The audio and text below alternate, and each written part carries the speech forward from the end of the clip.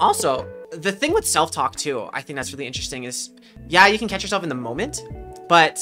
when it's easier to teach yourself the self-talk or practice the self-talk techniques is when everything's not on fire.